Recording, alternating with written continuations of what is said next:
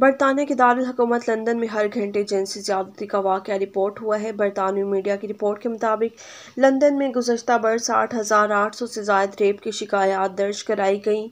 Media की report के मुताबिक, गुजशत बरस लंदन में चार हज़ार तीन सौ बच्चों का रेप हुआ, या उन पर जिनसी हमला किया गया। मुतासरीन की मदद करने वाली चैरिटीज़ ने सूरत हाल को खौफनाक करार दे दिया और ज्यादती के वाक़ात की असल शरह कहीं ज़्यादा होने का दावा किया है।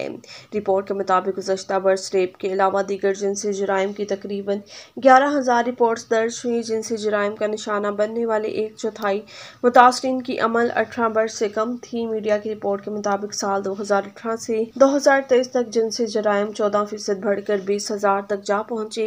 रिपोर्ट में मजीद बताया गया है कि हर छः में से एक औरत ज्यादती की रिपोर्ट दर्ज कराती है, जबकि हर पाँच में से सिर्फ़ एक मर्द रिपोर्ट दर्ज कराता है। दीगर जिनसी जराइम के मुतासा हर चार अफराद में एक शिकायत करता है